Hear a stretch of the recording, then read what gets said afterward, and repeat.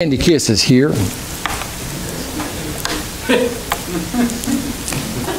And I've got seven of them. Now, I would have gotten a bag of Candy Kisses and given everybody one, but I know some of you don't need it. and others shouldn't do it. And so, as a result, I'm just going to leave them right here. And uh, if something in the if something in that what I say today, which today's message I believe would be a shotgun message. Y'all know what, what that one is? It's something that scatters and hits a lot of subjects. If one of the subjects hits you between the eyes, you're free to come up here and get one of these. first come, first serve. Kisses. How many of you like to kiss? Oh, I do too. I do. I, I like those six second kisses. Y'all, that's just when you put your lips together with your husband or your wife and you just kiss for at least six seconds. Sometimes mine goes as much as seven and eight seconds. but kisses. Our culture is, is just inundated with, with talking about kisses kisses, love, love, love stories. Uh, you know, radio uh, songs talk about kisses. Teenagers got it in their mind that first kiss, and uh, uh, the Hallmark movies. How, how, many of you watch those Hallmark movies? I do. I think we've watched about every one of them except for the new ones. And and uh, inevitably, in the middle of the story, they start to kiss. And what happens? telephone rings, doorknob, or somebody comes into the room. And what did they do? Stop. I told my wife, I said, there ain't nothing going to stop me once I'm on my way. Unless you turn your head. Those actors are crazy, or the writers are, are nuts. But kisses, kisses are expressions of love and affection. And, and in the Bible, I want you to know there are seven areas where kisses are mentioned. Did you know there are kisses in the Bible? There is. And two of them are not so good, but five of them are great. And the kisses, if you would put, put the, uh, the first one up there. Kisses in the Bible. There is the friendly kiss of hypocrisy. The friendly kiss of hypocrisy. In Luke 22, verse 47, while Jesus was speaking to the multitude, here comes Judas, one of the twelve, who went before the multitude, and he kissed Jesus. And Jesus said to him, Judas, do you betray the Son of Man with a kiss? Without a doubt, this is probably one of the most despicable portions of Scripture there is in the whole Bible. Even worse, Judas was actually trying to cover up his plot he was thinking maybe I can kiss Jesus, and he just said, Well, I, I love you too, Jesus, Judas, and all of a sudden here comes the mob. But Jesus knows everything. He knows the intents of our heart. He knows everything about us. Uh, yesterday, I felt I, I, felt so guilty. I had explained it over and over again, and I apologized profusely uh, because I heard a uh, I heard a we were, talking about uh, how that the beheading of John the Baptist, and I thought that is a that's a stupid portion of Scripture, and I stopped right quick and I said, no, no, no, no, no, I don't mean stupid Scripture, but the man is stupid who promised the head of John the Baptist. That was stupid. That was a stupid promise to make. But because I've said something like that, it just I felt like I had betrayed Jesus. I had felt like I had just, uh, and, and, and the Holy Spirit says, Tim, He understands your motive. He knows what you're trying to say. And I say, Thank you, God. Aren't you glad God knows the intent of our heart? Proverbs 27 says, The faithful wounds of a friend, those are faithful. But the kisses of the enemy are deceitful. Have you ever been betrayed by anybody? Mm. Somebody you love and, and uh, uh, friends that you've had for a long time, and, and it, then you find out they talked against you behind your back. Or maybe you, you've, you've employed somebody to do something and, and you find out they're stealing from you. Husband, wife, cheat on you. That's betrayal to the highest extent. But nobody, no one has been betrayed like Jesus. Jesus, one of his precious twelve, whom he knew was, was a devil, but he chose him because this was the will of God. Then there is the foolish kiss of idolatry, idol worship. The foolish kiss of idolatry. In Hosea 13, Verse 2 They continued to sin, making their silver idols, images shaped skillfully by human hands. Sacrifice to these. They said, Kiss the calf. Kiss the calf.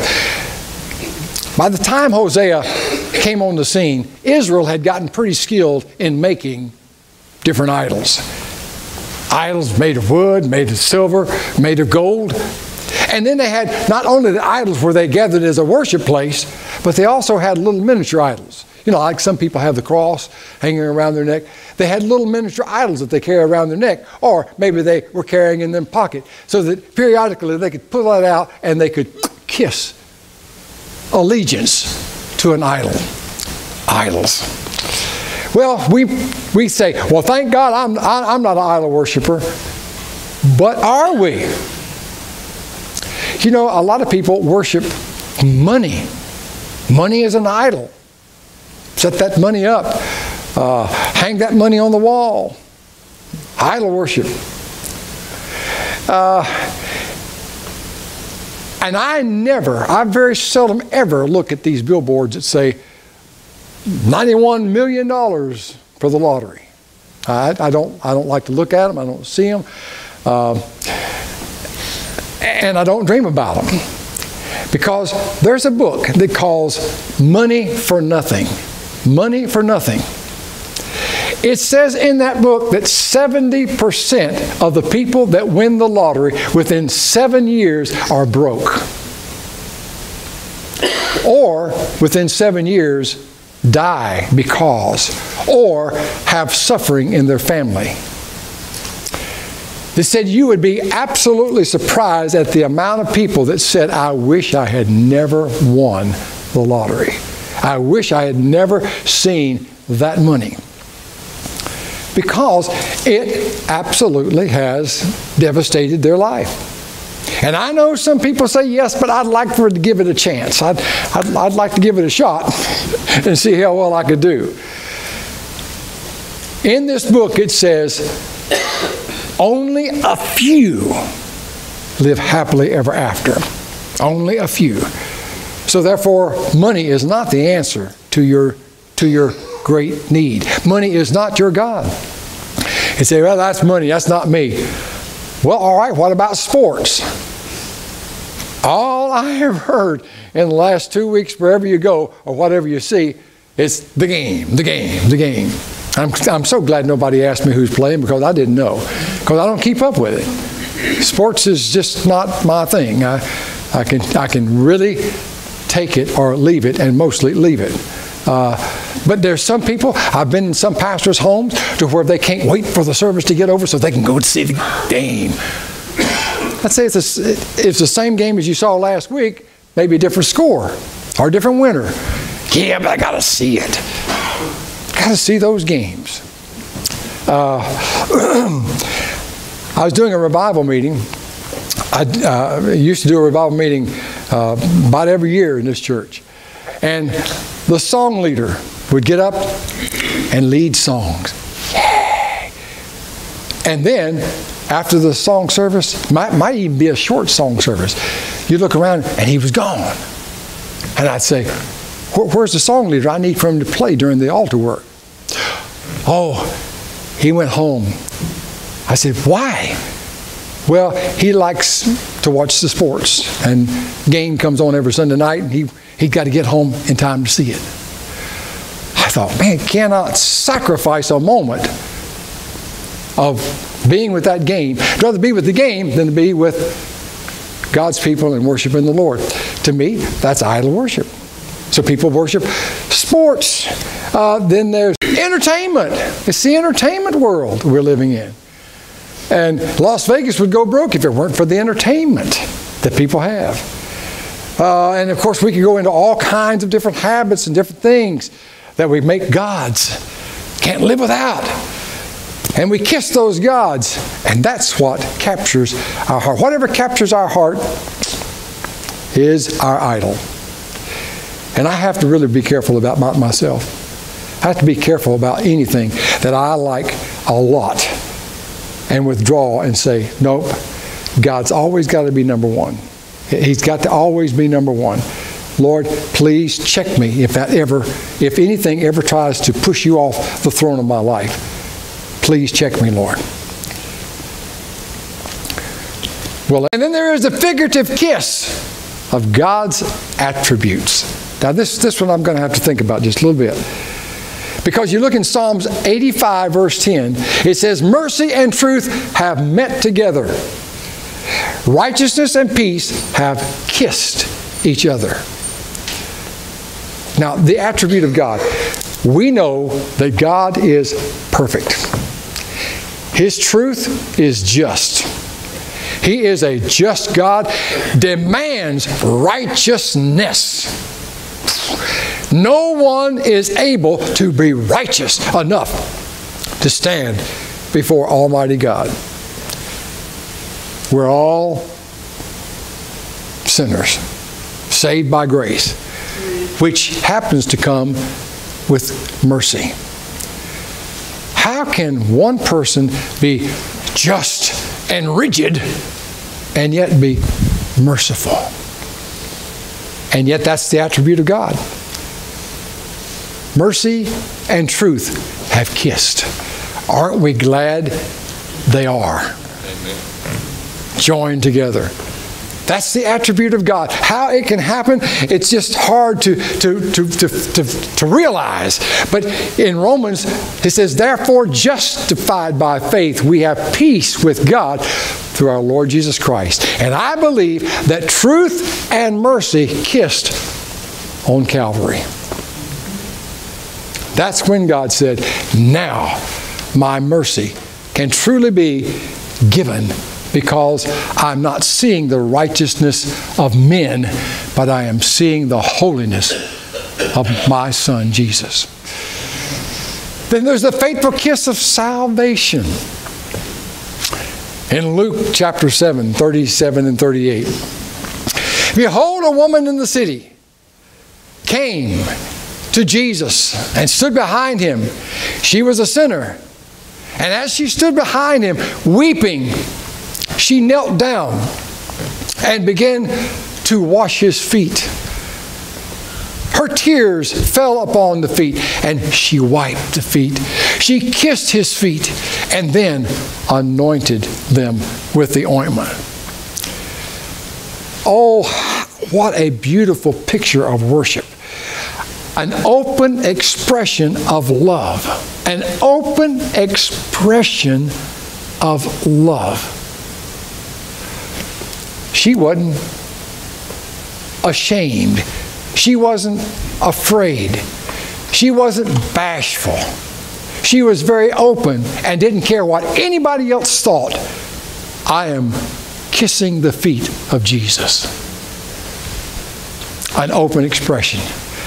Open expressions to me are hugging one another. That's an open expression. I, I uh, my parents, uh, when I was growing up, and I don't know how it was in your home. Uh, some of you maybe didn't even have parents. I don't know. But in being raised in my home, I was I was taught to hug. Give me a hug. and, and you just hug and uh, kiss the cheek. And I, I, I just grew up that way. It was just commonplace. I remember, though, as a teenager, because when you know sometimes you get to be a teenager, uh, uh, you see it betrayed on movies. Well, no more hugging, son. Shake hands. I thought, hmm, I don't like that. But I was a teenager, about 15 years of age, and some boys came to the house and said, "We're going over so and so. Would you? Can you come?" And I looked at my parents and I said, "They said, yeah, go ahead." And I hugged them, mom and dad, and I was walking and I back towards the door where they were standing, and they saw me, and I saw them go.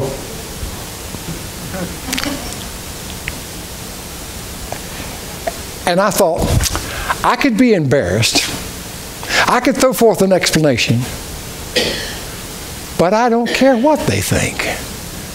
Because I'll be 30 years of age and I'll still hug my parents. When they turned 90 years of age, I was still hugging my parents. I say, hug them while you can.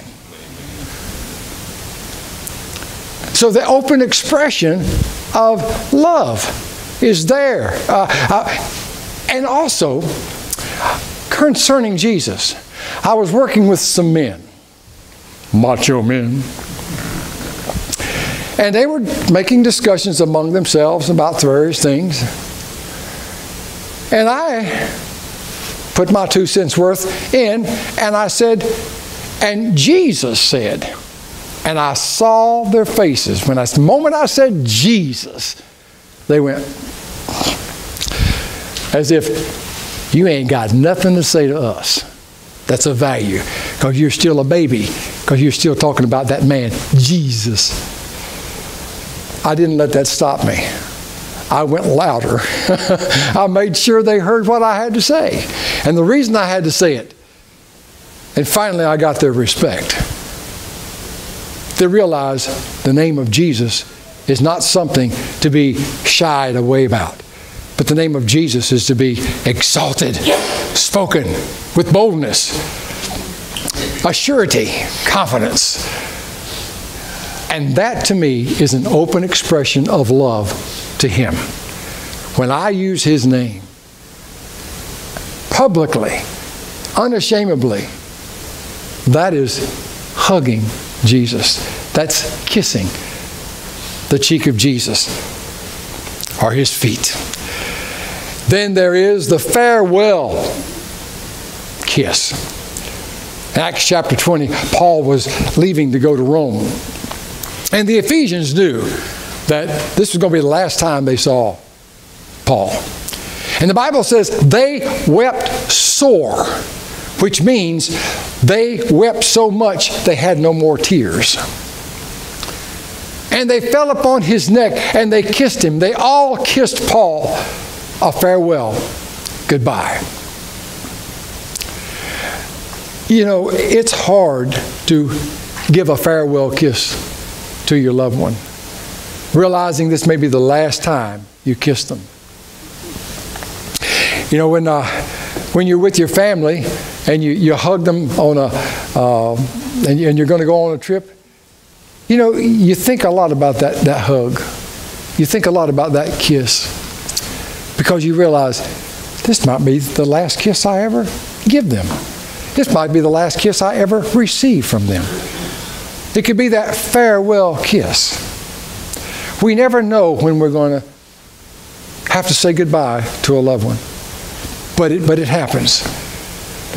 I'm, I'm in many funerals, and, and I see the farewell kiss that many of them give as they bend down over the coffin and they kiss the corpse of their, their loved one because a farewell kiss. Uh, it's hard to all anytime. It's hard to, to say goodbye. Missionaries, when they go on to a, their, their missionary countries, many times they go for five years without coming back on sabbatical. Five years. In five years' time, so much can happen within your family and you're thousands and thousands of miles away, realizing that when you left, you gave them that farewell kiss. So, love your loved ones while you can. Love each other while you can. And then there is the family kiss of the brethren. Paul says, uh, in fact, the word says it in five different places greet one another with a holy kiss. Greet one another with a holy kiss. Paul repeated that many times. He admonished his, the brethren to greet one another like that, wholeheartedly. In today's society, that's pretty risky business. In today's society, it's hard for two men to walk down the street or the mall or what have you together because of the thoughts of some of the people in society and why certain people in society have messed up relationships. Uh, Scott, stand up just a minute. I remember when I was a teenager, come on close to me. Uh, when, when I was a teenager, I remember walking up the street. My cousin Doug, sometimes he comes here and worships with us. But I remember, put your arm around me. We'd go up the, we'd go up the, the road just, just like this. We were buddies. We were buddies. No one, thank you, Scott. No one ever thought anything about that. That, that, was, that was an embrace. That was a brethren, a holy kiss, you might say. You can't do that today. You just, society will not accept that. So, well, what do we do? What do we do? Well, a lot of times today we would say it would be a hearty, heartfelt handshake. And or there is, and I'm, I'm glad to be able to see this, even in the business world, people not seeing each other for a while, they hug, men hugging each other. Women, it, it, it, women can get away with just about anything. they, are just, they just, they're just loving people, you know, just think people don't think too much about that as much as they do with men. But man, what do we do? Well, I still believe in the fact that yes, we can hug. There is a, a reverent, there is a kind of hug that is wholesome, that is saying, This is, I care about you. Then there is, I have had, I've had a few men who have come up to me, I even hear, that have kissed me on the cheek. Think nothing about that. It's, it's, it's an affection, affection it's saying, I really, I really appreciate you. I love you. And so you think nothing about that. So when you say, greet the brethren with a holy kiss, Paul was saying, love one another unashamedly. Love one another wholesomely. For one thing's for sure, the demand for Christian love has never been outdated and never will be. And then the last one is the forgiving kiss of compassion. Here's the most blessed scripture. Here's one of the most blessed portions of scripture that you'll read in Luke chapter 15, for the prodigal son, remember how he had left home, spent everything he had, squandered his money, had nothing to show for it except pig slop all over him. And he came home and he was thinking, what, what's my dad going to say about this? I mean, I want to come home, but I don't feel like I can because of what I've been through. And I've got nothing to change this stuff out of. What am I going to do? And so he's on his way home rehearsing what he's going to say. I've sinned against heaven and, and, and I've sinned against you, and I'm no more worthy to be called your son. Make me one of your servants. And he just over and over again. But the Bible says, I like this portion he said in verse 20. He arose and he came to his father. But when he was yet a great way off, his father saw him, had compassion ran and fell on his neck and kissed him. Amen. The son couldn't hardly contain it because even the son couldn't accept himself. He backed away and started his speech. But the father said, No, no, this my son was dead. He's alive again. Let's rejoice. Which is a picture of our Heavenly Father. Kind of brings tears to my eyes a little bit of, of joy and gratefulness and humility to realize that when I came running to Jesus, I didn't have to worry about him saying, Oh, wait a minute. Wait, wait, no, no, don't come near me. But no, his arms were so open. It's like, it's like when a hurting child comes and is embraced by a father or a mother and held, comforted, loved on. And that is the picture of our Heavenly Father when we come to Him in repentance. When we say, Lord, forgive me, He does. He's more to forgive you than you are for even asking. He's more anxious to forgive you, receive you, than you are of coming to Him. But when you do, whether, whether you've known the Lord and you've walked out, His open arms are saying, I'm still here. I'm still here. I still want you. I still love you. I still will accept you. I will forgive you. and you know, He wants us to do the same. He wants us to be the same. For as we have been accepted, as we have been forgiven, so is the will of God that we do the same for others. I mean, is there anybody in your life that you've got problems with and you're having problems forgiving them? Anybody in your life that you just don't want to have anything to do with? And when they come around you, you try and turn your back, play like you didn't see them? Anybody like that in your life? You know, you need to get that thing right.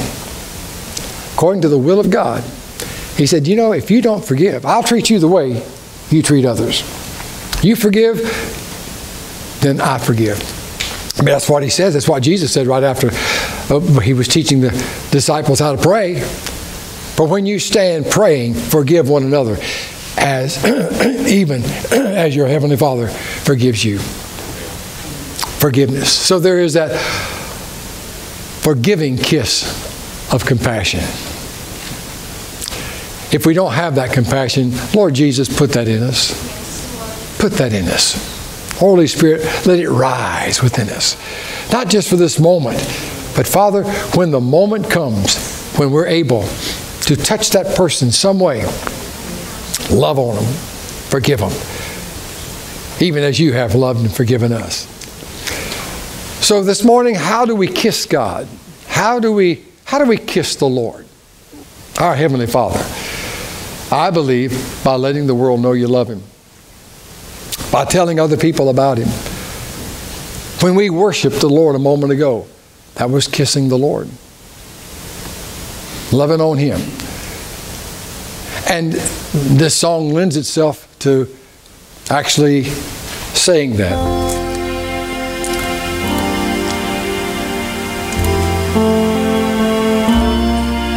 I love you, Lord, and I lift my voice to worship you, oh my soul, rejoice. Take joy, my King, in what you hear. Let me be a sweet, sweet sound in your ear. Amen. Go ahead and put that last slide up so that everybody sees whole outline today. Today, I believe one way, just besides singing, that we say, I love you, Lord, But as we leave today, loving on each other, telling somebody, hey, I love you. Because he said, as much as you do it unto the one of the least of these, you're doing it to me. Let's stand together. I love you, Lord, and I lift my voice to worship you, oh my soul. Rejoice, take joy, my King, in what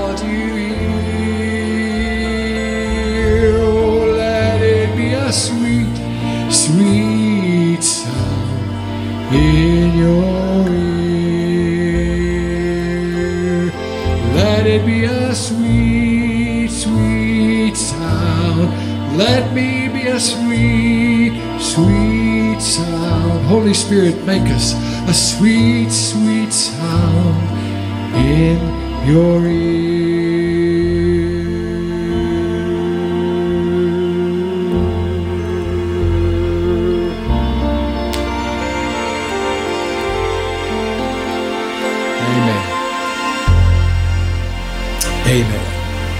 Amen. Father, all these, may we never have a hip, hypocritical kiss or an adulterous kiss. But Lord, may we enjoy the attributes of a merciful, loving Heavenly Father. And Father, I thank you that we will appreciate and openly show that we